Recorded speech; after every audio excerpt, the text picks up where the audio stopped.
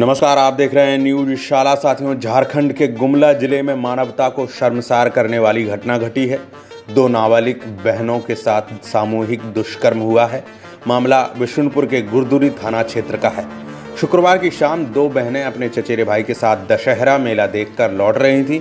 इसी दौरान प्रेम नाम के एक युवक ने रास्ता रोका और छेड़खानी करने की कोशिश की। इसका विरोध करने पर उसने अन्य युवकों के साथ मिलकर चचेरे भाई को पीटकर भगा दिया। और फिर सामूहिक दुष्कर्म की घटना को अंजाम दिया। हालाँकि सूचना के अनुसार एक आरोपी ने गिरफ्तारी के डर से आत्महत्या कर ली है। गुमला सदर एसडीपीओ मनीष चंद्रा ने बताया कि पुलिस को ये जानकारी शनिवार को मिली, जिसके बाद तत्काल कार्रवाई करते हुए उन दोनों बच्चियों को गुमला सदर अस्पताल में मेडिकल टेस्ट कराया गया।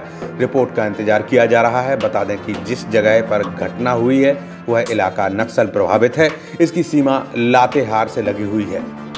उन्होंने बताया कि इस कोर्ट में बच्चियों का एक सौ चौंसठ के तहत बयान दर्ज करवाया जाएगा।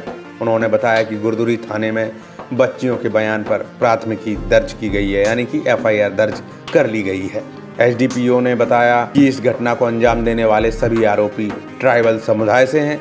और इसमें ज़्यादातर युवक चापाकोना गाँव के बताए जा रहे हैं। वहीं इस घटना के बाद ग्रामीण काफ़ी आक्रोशित हैं और आरोपियों को जंगलों में खोज रहे हैं। इस, इसके साथ ही पुलिस भी छापेमारी अभियान चला रही है। साथियों हम आपको बता दें तीन मोटरसाइकिलों पर सवार दस आरोपियों ने उन्हें रोका और लड़कियों पर अश्लील टिप्पणी की। युवक के विरोध करने पर आरोपियों ने उसके साथ मारपीट की। हालाँकि वह खुद को किसी तरह उनके चंगुल से छुड़ाने में कामयाब रहा और मदद के लिए अपने गाँव चला गया।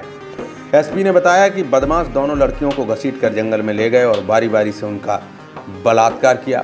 एसपी ने बताया कि इसके बाद उन्होंने पीड़ितों को पीटा, उन्हें पास के दूसरे स्थान पर ले गए और फिर से उनसे बलात्कार किया। पीड़िता के रिश्तेदार और ग्रामीणों को मौके पर आते देख आरोपी युवक भाग गए। लड़कियाँ दस आरोपियों में से दो की पहचान कर सकीं, जिन्हें गिरफ़्तार कर लिया गया।